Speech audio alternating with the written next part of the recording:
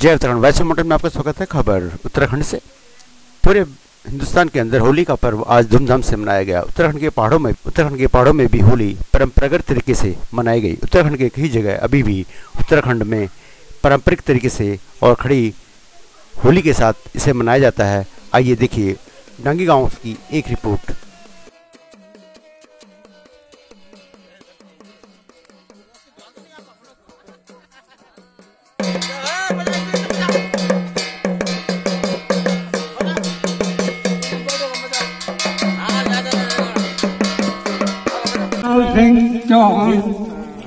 घड़ी में बैठा हूँ, कान नहीं सुनता, चल नहीं पाता।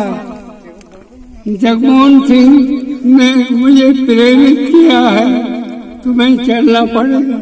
वो धन्यवाद है। और इनको जो है यही इनको के रास्ता जो है, मिलता रहे। और बाकी बच्चों को यही मैं शिक्षा दे सकता हूँ कि अपनी परंपरा को मत भूलना। बाकी आज डांगी गाँव में और डांगी गाँव होली होली के लिए बहुत चर्चित है। हमेशा होली का त्योहार मनाया जाता है। महिला पुरुष दूर सब और दूर दराज से गाँव आ जाते हैं। बच्चे भी है। और आज मेरे पास बहुत सारे बुज़ुर्ग लोग एकत्रित हो रहे हैं होली मना रहे हैं। यहाँ पे सुधार बच्चन सिंह जी आ रखे गाँव। उनसे जाने के आज होली के लिए गाँव आए। कैसे लग रहा होली आपको गाँव में? आ, बहुत अच्छा लग रहा है। देखो अपनी धरती अपनी होती है अपनी पितृभूमि अपनी पितृभूमि है।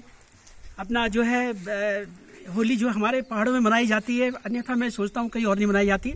शहरों में मनाते हैं लेकिन वो होली में जो रंग यहाँ है कल के दिन देखो सारे दिन लोग जो है होली गाँव गाँव से आते लोग आते रहे और कल होली जलाई गई और आज जो है सारा गाँव जो है पूरा जश्न मना रहा है। बहन के लिए जहाँ तक एक संदेश भी दिया कि लोग गाँव आ रहे ताकि लोग और भी आएँगे तो ये भी एक संदेश है आपका। हाँ हाँ बहुत अच्छा है और जो है पहाड़ों में भी आइए।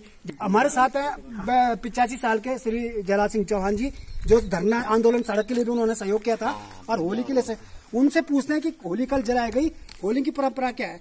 होली कल जलाई गई और होली में कैसा रहता है? क्या क्या होता है होली का? तो होली का ऐसा होता है ये होली वो असली नाम है इसका होलिका होलिका तो ये एक मतलब कुछ दुष्ट काम वो थे इसलिए इसको जलाया जाता है।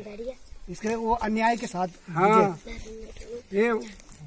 इसका असली नाम है होलिका। होली का ये नया पीढ़ी को जो है इस बारे में जानकारी नहीं है। हमारे जो बुज़ुर्ग हैं वो बता रहे हैं कि इसका नाम होली का होता है लेकिन हम होली जलाने की बात करते हैं जबकि इसका नाम होली का होता है। हमारे साथ है इंस्पेक्टर रिटायरमेंट विनोद सिंह चौहान जी। ये होली- होली के लिए कोरदार से वैसे वो गाँव में आते हैं बराबर आते हैं लेकिन होली में हमेशा गाँव आते हैं। कैसा लग रहा है होली में गाँव में? बहुत अच्छा लग रहा है। गाँव में होली मनाना ही एक अनोखी प्रक्रिया है क्योंकि इस समय बसंत ऋतु का आगमन है और तमाम प्रकृति की इतनी अच्छी देन है कि चारों तरफ़ जहाँ भी देखो नए नए पेड़ पौधों ने जो है पत्तियाँ धारण कर ली फूल खिल गए हैं चारों तरफ़ हरियाली हरियाली नज़र आ रही है। और बहुत ही अच्छा उल्लासपूर्ण वातावरण जो है यहाँ पर।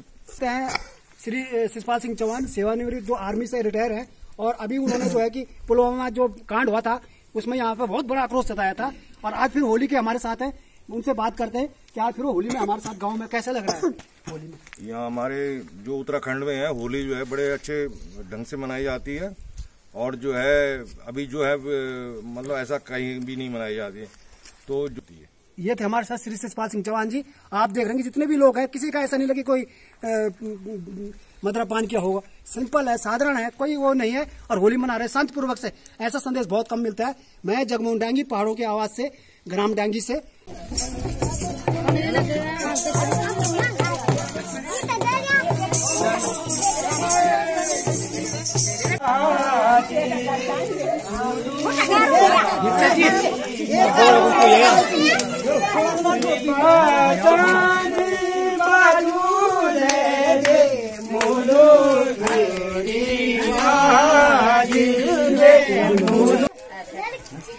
मैं हूँ आज डांगी गाँव में और अभी अभी जो होली महोत्सव हुआ था कल विकास खंड में, ग्राम डांगी की महिलाओं ने जो है ऊपर पुरस्कार प्राप्त किया था। और आज वो गाँव में जो है, दोबारा जो है होली कार्यक्रम चल रहा है।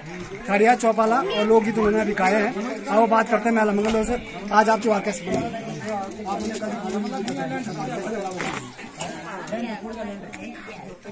बहुत अच्छा लग रहा है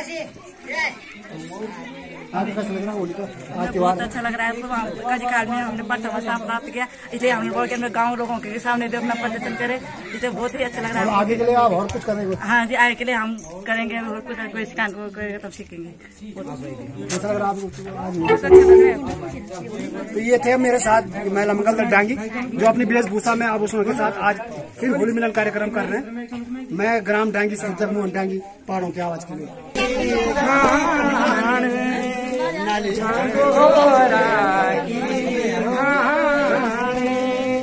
हैप्पी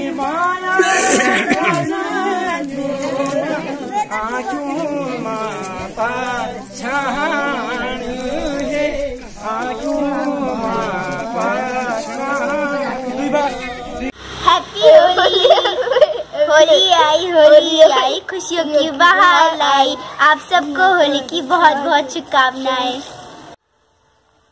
सभी देश प्रदेश वासियों को वॉइस ऑफ़ माउंटेन परिवार की ओर से हैप्पी होली जय उत्तराखंड।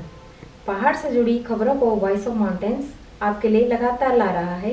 यदि आपने हमारा चैनल अभी तक सब्सक्राइब नहीं किया तो प्लीज़ सब्सक्राइब कीजिए घंटी बजाइए शेयर कीजिए कमेंट्स कीजिए और लाइक ज़रूर कीजिए। देखते रहिए वॉइस ऑफ़ माउंटेन्स